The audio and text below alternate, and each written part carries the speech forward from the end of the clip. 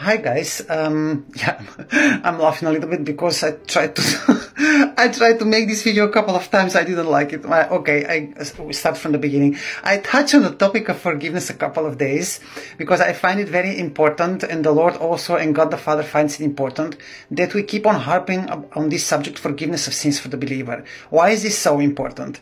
When you know that you're forgiven from, from your entire life of sins, this is important for your conscience, it's important for your peace of mind, for your health, for your finances, for every single blessing that the Lord uh, accomplished for us by His finished work at the cross to be manifested in our lives by the power of the Holy Spirit. You know, the Spirit I've said many times and the Bible says so, bears witness with the truth.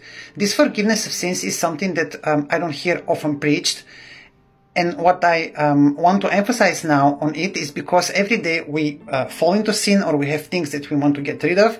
So the more you know that you're forgiven, the more your conscience is in peace, the more you see yourself as the forgiven person at the at God's right hand, seated seated with Christ at the right hand of God, the more every sin issue and everything that you're struggling with will just um, melt down, melt away, as a butter on a hot day. So I want first to give you the book of 1 John chapter 2 verse 12 and I take the Amplified Bible. I'm writing to you little children, believers, dear ones, because your sins have been forgiven you for his name's sake. You have been pardoned and released from spiritual debt through his name because you have confessed his name, Jesus' name, believing in Him as Savior.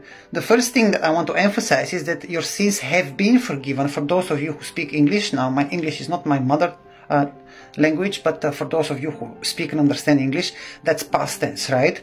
The second of all is that um, at the end of this verse it says those of who are, who are believing in him as savior in jesus as savior are you believing every day that jesus is your savior? He is your savior. That's why you believed on him. You are his own. You will never perish. He gives you eternal life. He gave it to you already. So this forgiveness of sins the fact that you believe in Jesus as your Savior every day and He's the lover of your soul all your sins are forgiven, your everyday sins. Another Bible verse, uh, but before that, wait, I was thinking about Romans chapter 5, verse 6, uh, no, Romans chapter 3, I think, I'm sorry, when it says that all have fallen short of the glory of God, but uh, this gift of righteousness that Jesus accomplished is to everyone in the for everyone in the world, but comes on those who believe. So you see, when you believe on Christ, this gift of righteousness is your inheritance. This is something you need to study. You need to be conscious of that you're the righteousness of God in Christ Jesus. So another verse that I want to go to is again the book of 1 John chapter 2 verse 1 and 2. And John is writing to the believers here in Christ. And um, that's why he's saying, My little children, these things write I to you, that you sin not. And if any man sin, we have an advocate with the Father, Jesus Christ the righteous. And he is the propitiation for our sins. And not for ours only, but also for the sins of the whole world. So you see, first of all, John calls the um, believers there my little children. It is a term of endearment. We are God's children. We are not sinners anymore. These things I write unto you that you sin not. If any man sin, we have an advocate with the Father. We have is present tense. What is the function of Jesus at the right hand of God at this moment. He is our advocate and he is the propitiation of our sin, of our sins. Uh, when you look at the word propitiation in the Greek is the word he hilasmos and it means expiator, atonement. When I looked for the synonyms of the word expiator, it means atonable. So the function of Jesus at the right hand of God is an atonable function. He is our atoning sacrifice.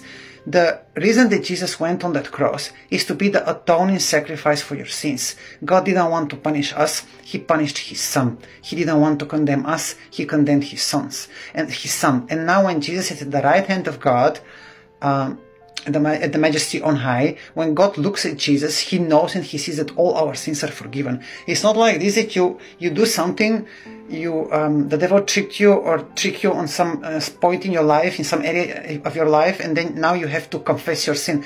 I'm uh, very sorry, actually I'm not, to disappoint those who believe that confessing of, sin, confessing of sins is something for the believer. Now, when you, you know you're forgiven and you've done something wrong, you say sorry to God, right? You say sorry to your wife, you say sorry to your friend, that like it's, it's logical but this will not give you forgiveness of sins you don't confess in order to be forgiven if this was the case uh, john in chapter 2 would have said to the believers if any of you sin, confess your sins. No, John wanted to uh, encourage the believers and to assure them that they have an advocate with the Father. They have a representative in the form of uh, um, in the form of human, because Jesus is not also God; he's also human. Is the uh, our is the uh, head of the new human race, the new creation in Christ. So we have a representative, and when the Father looks at him, he knows that you're forgiven. He knows what Jesus did at the cross. And that's the reason that the Father can bless you, that the Father can work in your life, and any help that you need from Him, He will give it to you because of Jesus. Uh, I wanted to talk about this a little bit because it seems to me that um, when I see reactions and comments of fellow believers, and that fellow believers are afraid of certain sins in their lives, and they have uh, certain issues with addictions and all kind of stuff that st- still linger in their lives. Uh, dear child of God, beloved, wonderful, amazing, beautiful child of God, as beautiful as Jesus and as righteous as Him, the Father loves you as much as He loved Jesus. Jesus Himself said in the Gospel of John these words, with the Father, with the love my Father loves me, I love them also. And as much as the Father loves me, this as much the Father loves you also. So you know the um, disciple of John, the disciple who Jesus loved, is all about love, love, love. And honestly, I don't care for the religious leaders who think that this is basic to be honest to you, um, the love of God sent His Son because He loved us, died for our sins.